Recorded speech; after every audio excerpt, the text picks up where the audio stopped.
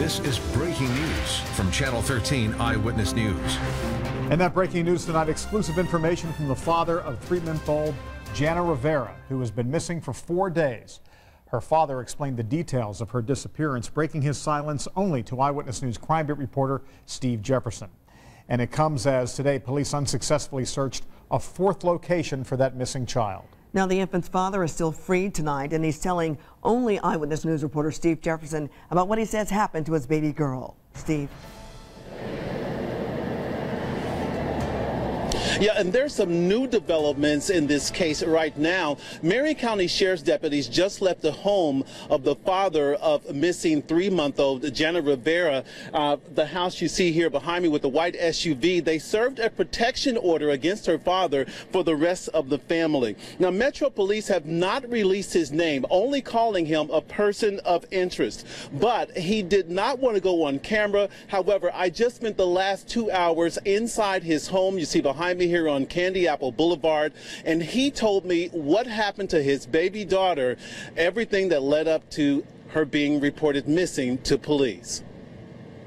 The father of three-month-old Janna Rivera says he did not harm his baby daughter, but tells Eyewitness News she is no longer alive.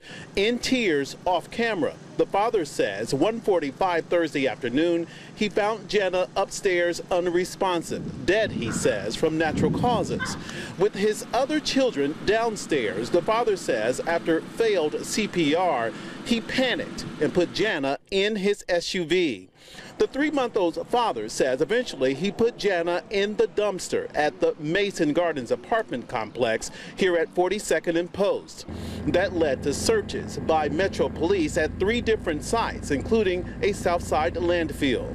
Janna's father told Eyewitness News the same day her mother reported her missing, eventually he took a police polygraph, explaining what he did in panic, saying he passed the polygraph.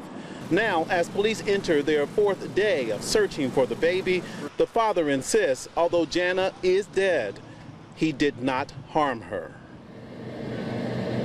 Janna Rivera's father told me after sitting with his wife, with his uh, the baby's mother, his girlfriend, and two of their children, he explained to them what happened Thursday night here at the house. He explained that he had placed her in the dumpster to the family. The uh, mother of the child then called police. He says he has cooperated with police from the very beginning, including taking that polygraph test and passing it. Now, he says he will continue to cooperate with police, but he wants people to know that he did not kill Janna Rivera, his three-month-old, but she died of natural causes, and he did, he panicked, put her in the dumpster, and things went on from there. Now, we will have more on this story coming up at 6 o'clock, including the protection order that was served here and more of what he told me while inside his home two hours this afternoon here on Candy Apple Boulevard.